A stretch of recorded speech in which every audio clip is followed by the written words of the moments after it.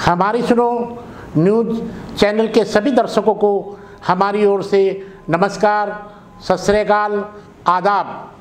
आप देख रहे हैं हमारी सुनो न्यूज़ चैनल। देखिए ये आगे की खास खबर। Shri Asaduddin Owaisi thank you sir sir will the honourable minister be kind enough to answer my specific question he has accepted that there are 69 Indians who are stuck in Russia Will the Indian embassy in Russia ensure that these boys who are stuck at Russia-Ukraine border, will you facilitate them and bring them to Moscow? and eight have died. Two boys' dead bodies uh, from Punjab and Haryana, the DNA have been done. These, body, these bodies have not been returned. One Kashmiri boy, Zahur, no, no one knows about his whereabouts. And he, as he knows that one Baba vlogs in Dubai, Faisal Khan in Russia, Moin, Ramesh, and Pushpreet. These are the main criminals sitting in Russia and one in Dubai who are misguiding our youth, will the government first cancel their passports, issue an LOC? And third, if the Russian government is not taking us serious, I'm complete, if the Russian government is not taking us serious, will this government not purchase any Russian oil? Will they stop these Indian refiners from buying discounted Okay, okay. oil from Russia? Sir, I will give a set of very specific answers to the very specific questions of the Honorable Member. Uh, there are, uh, as I said, sir, eight Indian nationals who unfortunately uh, died while in service with the Russian armed forces.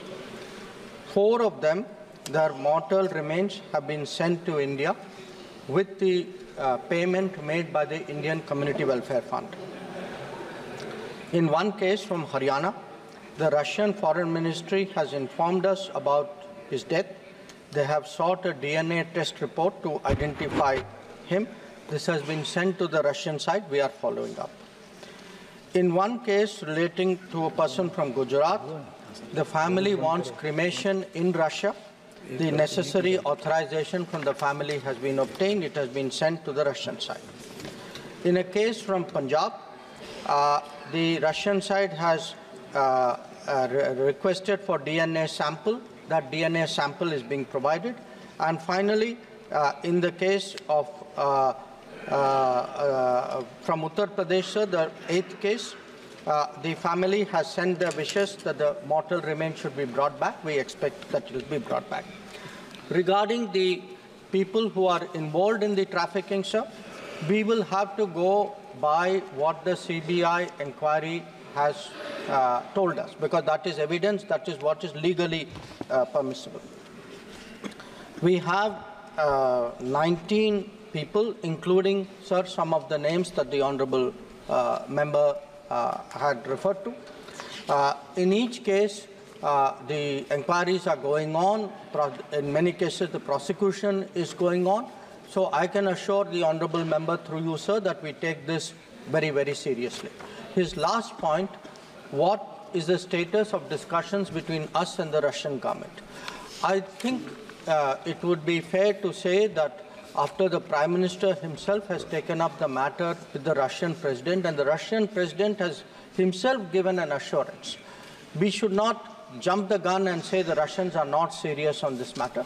I think it is important to uh, hold the Russian government to their word.